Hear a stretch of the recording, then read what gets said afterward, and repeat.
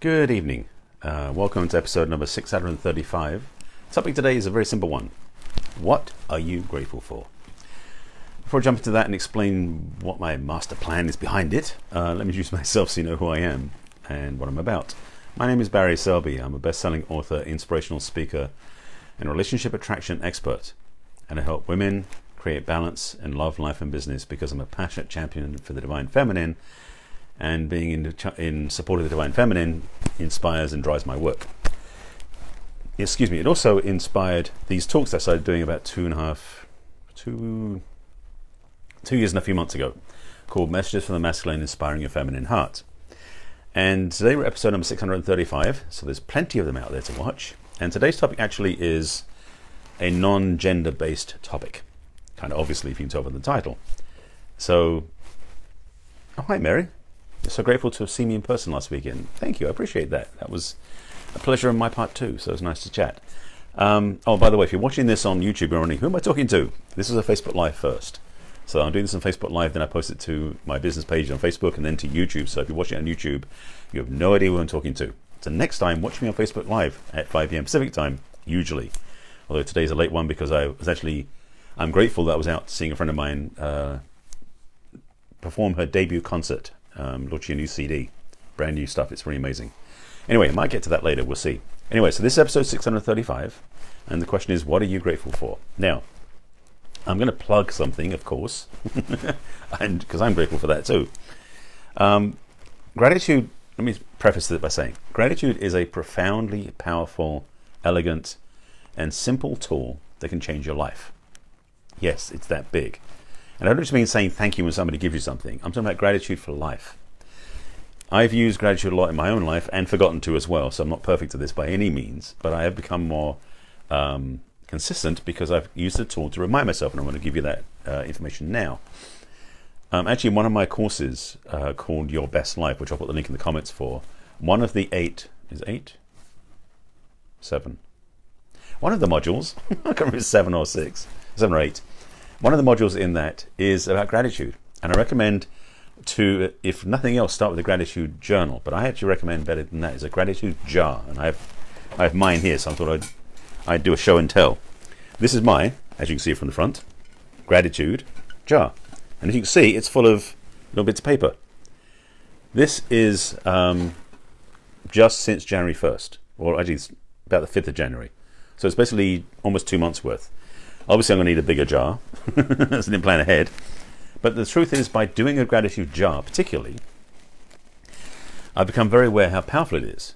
Because gratitude journals are great, and just saying gratitude is a good start. But frankly, if you can do something more physical, more tangible, more getting involved with your hands, it tends to create more embodiment in the experience. It's true of anything in life. You know, you know, you know the theory about how to ride a bike, but until you ride one, you won't know what it feels like and you won't know how to do it. So it's the practical experience of doing things that makes the difference. And for gratitude, writing it out by hand versus computerized is much more powerful. Yes. That's in fact, you're Mary, you're jumping ahead of me, but thank you for saying that. Yes, you really, you like the jar idea, so you can so you can reach in for support. Yes, you're jumping ahead. That's okay. Um, gratitude is something that we forget to do as human beings. We get caught up in life, we get so busy, so focused, and we forget to do things by having a routine, a ritual, a daily practice of gratitude, which is what this gratitude jar is for me. I remember even, I mean, the other night I think I was actually going to bed and I went, hang on a second, I didn't do my gratitude jar. And I got out of bed to do it, to finish it, so I could go back to bed. So it was kind of like a trigger to remember to do this. So every day I do, you, actually, it's a minimum for me. I write down three things I'm grateful for on different pieces of paper, and I actually have a stack of you know, props. Not giving over a stack of note paper, not not post-its. These are actually just um, you don't want to post-its. That stick to everything. These are just note, different color notepads because it creates more variety. And on each piece of paper, I put down. I usually put the date as well, just to remember when I did something, so I have something to refer back to. And then so I'm grateful for, and then write down what I'm grateful for. Do three of those every day at least. Put them in the jar. Again, show and tell in the jar, and it creates a consistency of gratitude, and it creates a um, frequency, that's the word looking for, of gratitude. And by having that in place, it creates a, I want to say vibration, frequency, attraction, all these fancy words that are spiritual, But the reality of what it's going to do by having gratitude play out is like when you're grateful for things, you tend to notice more things to be grateful for.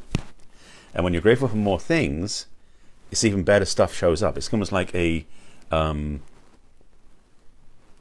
it's like a, it's like an avalanche in reverse, in a way, because in a way, what it is is you start building momentum, and as you do more and more of it, there are more and more good things up to be grateful for. Like tonight, just to touch base, um, I was, I saw a, I saw an invitation, I had an invitation to go see a friend of mine in Santa Monica um, do a do her first.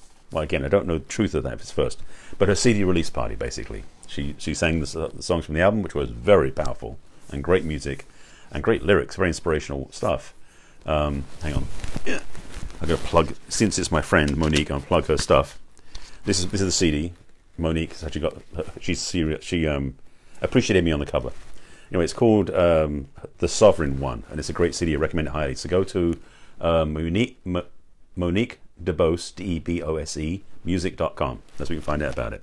Anyway, that's why I went to see her tonight, a CD release party, and see a bunch of friends there, which is wonderful. And for that, I really felt grateful. I mean, even walking in, I felt gratitude just welling up inside. So I'm using this as an example of what happened today, literally for me, but I want to use it as a reminder to you that even if it's as simple as you brushed your teeth this morning, or you meditated, or you got to work on time, or you ate healthy one day today, or in fact you ate at all today, you can use anything you want that you can honestly be grateful for as one of your three minimum reminder practices or gratitude practices to remind yourself that you're grateful. And so by doing this every day, and ideally forever, I mean, I'll say you do it for a year because that's, that's what the Your Best Life, the program I have, which I'll put in the comments again, helps you with. It's like it gives you like a year's plan. Um, but it can go forever. And why would you not want to give thanks every single day of your life? This is not a homework assignment. This is a lifestyle choice. And by having gratitude, yes, at times it may be we don't have a chance to write it down, but to have the gratitude vibration or the mindset running inside, you'll voice your gratitude to situations and circumstances you're in and to people in your life more evidently, more obviously, and more frequently. And that is a way to find your way through to having more abundance in your life, to having more joy in your life, having more love in your life. Yes, even love can come from gratitude. So, my encouragement to you thank you, Mary. So, grateful that I do these videos and honor both masculine and feminine. It is my, my, um, it's my calling. I was talking to a couple of friends of mine tonight at the concert before she started because it was getting it was hard to talk after that. Um, and I was telling her about the shift that's happening in my messaging that's going more towards helping women own their feminine beyond just relationship centric conversations. And she was feeling a lot of resonance with that. And I've actually had a lot of good feedback about that, for which I'm very grateful, just to stay in alignment with this message. So, this is a simple reminder that gratitude is a key that will change your life. Again, I'll put a link in the comments for the, uh, it's, a, it's a, it's not a course, it's a playbook, I guess we call it that. But basically, your best life is a seven. I think it's seven. I can't remember seven or eight. I've got two different programs. One seven, one's eight. I can, I make mistakes on that, but the truth is, it's a powerful program, and in there is the gratitude step. That's one of the steps. There's a lot more in it than that, but that's, that's one of the. That's why I'm giving that one for free. The other six or seven you have to get the program to get the rest of them. But the gratitude jar, if you did that alone, it will make your life a lot better. Your best life, maybe, but I recommend my your best life as my offering to you as something to check out as well. Um, and that's really about it. Gratitude is a powerful tool, and we underestimate the power of gratitude. Stop underestimating and start being thankful. It will change your life for the better. So, having said all that, um, I thank you for being with me. And thank you, Mary, for your input and comments. I appreciate that as well. And if you want to watch me live and interact with me like Mary did, you have to come and join me on Facebook Live, usually around 5 p.m. Pacific time is my usual commitment to doing this. And you can find me on facebook.com forward slash Barry Selby. On Facebook, the replays go on to different places, including my personal page. Oh, hang on a second, you can comment on there.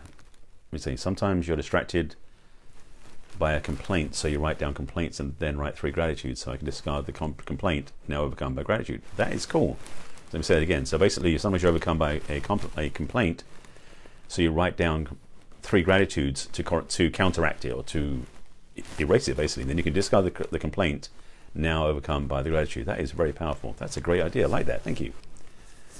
Yes, yes, yes, Suzanne. Stop underestimating. Stop underestimating gratitude. It's a powerful key.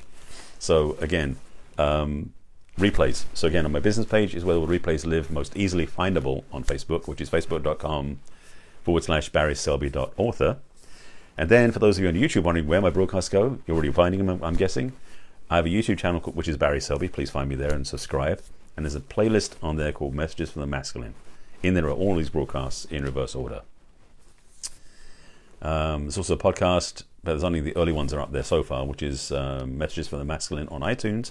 You can subscribe to that as well.